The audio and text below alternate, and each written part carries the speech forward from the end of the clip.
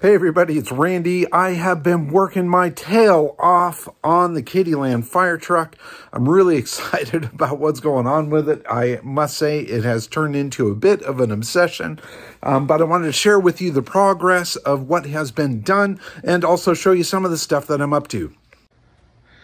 So, Kiddieland number one, as noted here on the top, uh, is, of course, the first of two fire trucks that were done for Kiddieland in Melrose Park um, by a fire truck company called Darley. Now, these were uh, built to haul kids around. Uh, these would go and pick up kids uh, at parties around the neighborhood, bring them to Kiddieland Park, and uh, and that sort of thing. And there were two of these. Uh, one of them got more use than the other. This is the one that has had the least use of the two. In fact, I'll see if I can get in here with this. Don't know if you can read that there, but there's just 14,000 original miles on this truck. Now, it has spent a long time in storage. Apparently, it was parked because it needed brake work. Um, we are going to take care of the brakes on it so it'll actually stop. Uh, fortunately, it was stored very well. And what I'm going through here is I'm polishing up each and every little bit of it. and it seems like every time I touch this thing, the better it looks. So it had a fair bit of paint fade. Let me bring you around back here. I've been working my way through that. You can see over here on this side, the paint is a bit faded. There's some areas of paint loss there as well. Uh, you can see on this side here, this is with a, uh, a quick polish and glaze by hand. Um, and using a glazing um, type polish. Uh, I may hit this a couple more times to try to get a little moisture into that paint and to get it to gloss up a little more. Now, granted, that's probably the worst part of it. That's where the sun hit it the most, as well as dust and fallout from storage. The sides have polished up. Amazing. The chrome is polishing up amazing. You can see how shiny that is. I've got one area here that I haven't polished. Let me see if I can get over here.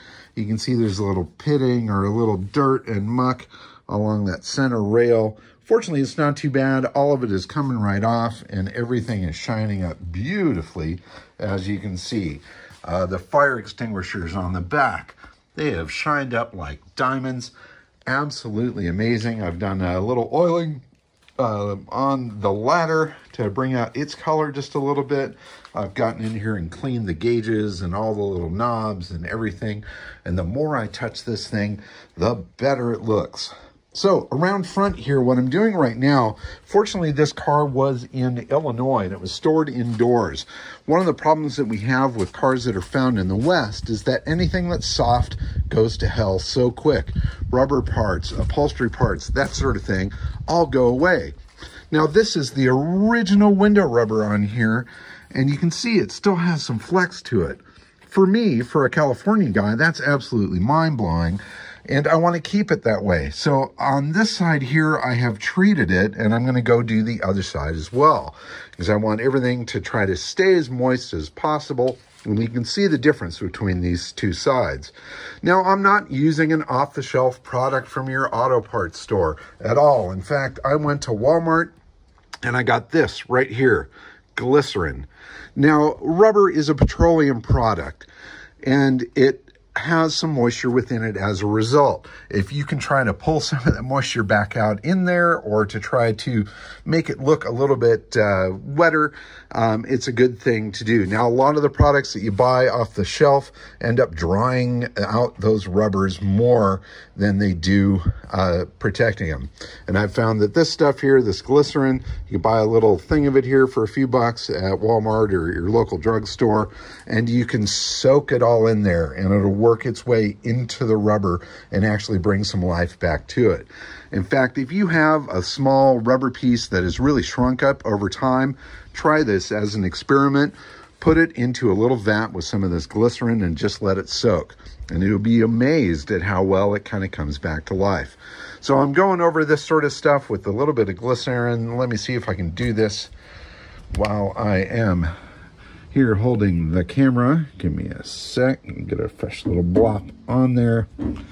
Now this stuff is really kind of gooey. It's kind of wet. It's uh, Got to be a little careful not to get it on everything else because it's kind of a bugger to get off. But if you're careful in here and let's see here, you can kind of work your way around there and see the difference that it's making. So look up here at the top where it's dry. I'll get in there and do that. I'm getting sloppy with it because I'm not paying attention. I'm really wiping the glass more than I am the rubber because I'm holding the damn phone. But you get the idea. You can make it go from this kind of graying type stuff to a black once again. Now, another thing that I've been working on uh, when it comes down to the paint and finish on here is getting rid of some of the old wax residue that has built up throughout the bus. Now, I've kind of hit the passenger side pretty tight there, but here's a spot that I've missed. And by using kind of a soft bristle brush, brush and getting down into that crack, you can make that go away. Wipe that with a little polish and it looks so much better. Another issue I am dealing with is some paint loss. There are some areas on the back here that almost look like perhaps they stuck a piece of tape or something on here and as they lifted it off, it peeled some paint with it. So I went to the local paint shop, I cleaned an area, I showed it to them. They used a little scanner camera to get a uh, a glimpse into what the actual color was. And he mixed up some of that for me in just a base coat. So it's uh, no clear in it. It's just simple base coat and then gave me a variety of little toners so I could mix it to match and try to get it as close as possible. So last night I was a bit tired. I kind of worked on an area. This uh, taillight panel had some big uh, gnarly spots in it. You can see right here, right here, right here. Uh, and I mixed that up and I brushed that on uh, using a striping brush, a nice uh, squirrel hair Mack brush. Um, and you can see it's close. It's a little lighter. Maybe when I get in here and polish this area, it'll blend a little bit more. But I may have to go back for a second pass, darken up that paint a little bit with a little more of the uh, toner that he gave me. Um, but the overall look of it will be significantly better. Uh, here's a picture that shows the damage that was around the taillights, and now you can see it there. So I'm going to approach the damage up here at the top as well. Areas where the striping goes through this. I may try my hand at uh, touching up that pinstripe as well. Uh, it's not going to be perfect, but it is going to be better. So I'd much rather see an area here, like I touched up a little bit here, uh, where at least it's red rather than a big hole. So uh, it's the sort of thing that they most likely would have done back in the day if they kept going with it. It wouldn't have been a whole repaint. And since it is a Survivor original car, I want to try to keep it that way. I also want it to look the best that it possibly can. So some of that stuff is a little unsightly. I've got to take care of that. And if somebody says, hey, you're putting a non-original paint on it, well, well, blow me. I think it's going to make it look so much better standing back here, take this thing in. Boy, I gotta get way back here. What a beauty. So I decided to load up the truck and bring it on down to Sebastian's. Uh, Sebastian and my friend Rusty came out to help. We're going to see if we can get it going. And boom!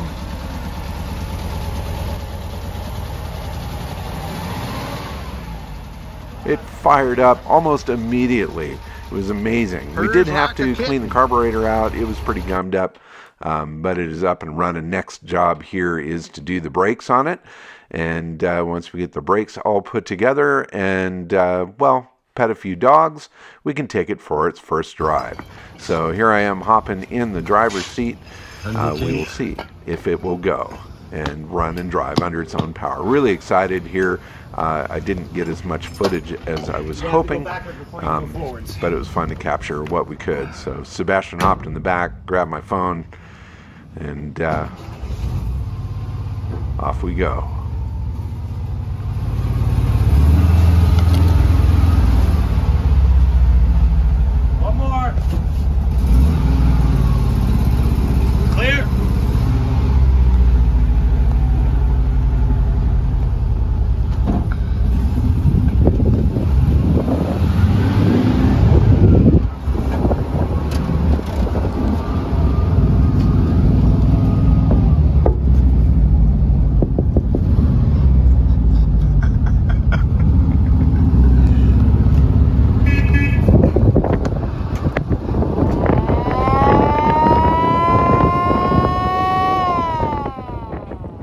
Apologies to Sebastian's neighbors for that.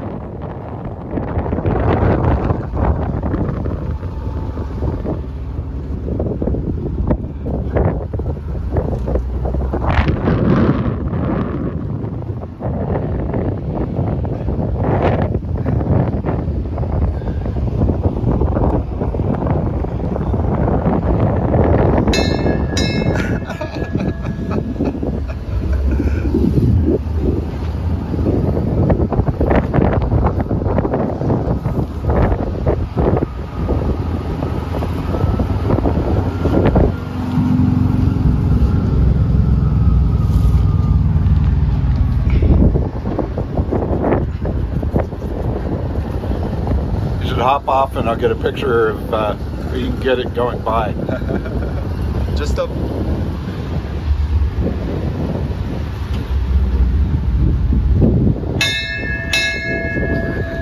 Stop here.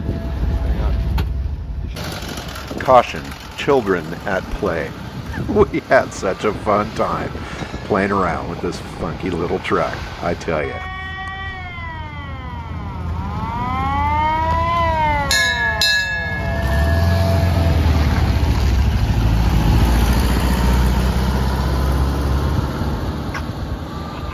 Now, we all took a turn behind the wheel uh, so we could feel what it was like to drive the fire truck around.